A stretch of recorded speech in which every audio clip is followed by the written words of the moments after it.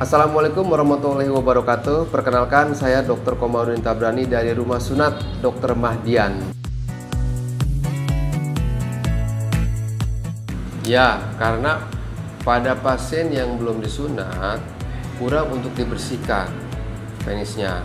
Lalu pada pasien yang belum disunat, kulit kulupnya rentan untuk sobek sehingga terjadi luka pada saat berhubungan seks sehingga luka tersebut akan masuk virus dan bakteri dan menyerang kepada tubuh Anda. Semoga penjelasan dari saya bermanfaat. Jika ada keluhan tersebut, silakan segerakan ke dokter. Namun jika ada pertanyaan, silakan tulis di kolom komentar. Atas perhatiannya, terima kasih banyak. Wassalamualaikum warahmatullahi wabarakatuh.